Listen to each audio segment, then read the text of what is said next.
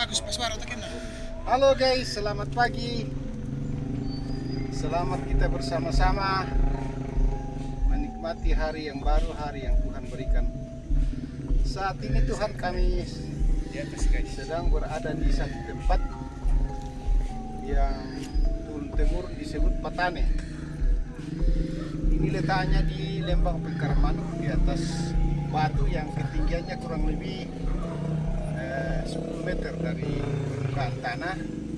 Akses itu bisa sampai ke sini kita tidak kita hanya bisa naik di tangga yang terbuat dari akar-akar kayu.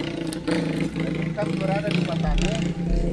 Di dalam ini isinya hanya tengkorak saja dengan eh, tulang-tulang daripada eh, moyang kami.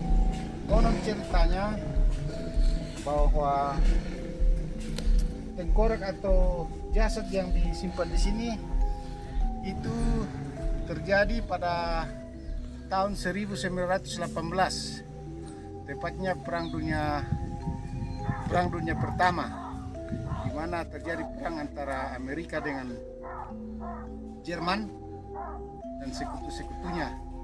Dan pada waktu itu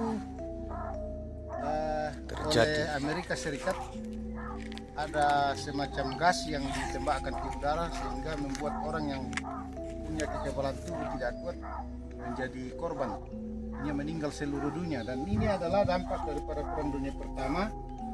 Jadi konon cerita yang kami dengar dari nenek moyang kami orang yang ditaruh di sini jasad yang ditaruh di sini tidak sempat lagi dikremasi jadi begitu meninggal karena banyak meninggal jadi hanya diopor-opor sampai ke sini. Dan ini semua buktinya. Ada tengkoraknya di dalam itu hanya tulang-tulang saja. Tidak ada kain-kain seperti di partai lain jadi kalau kita lihat di dalam ini mungkin ada ratusan. Atau ribuan. Atau ribuan jasad di dalam. Jadi seputar kampung sini mulai dari Mungkutondok, Pengkaramanuk dan sekitarnya itu semua jasadnya ditaruh di sini. Dan ini menjadi satu sejarah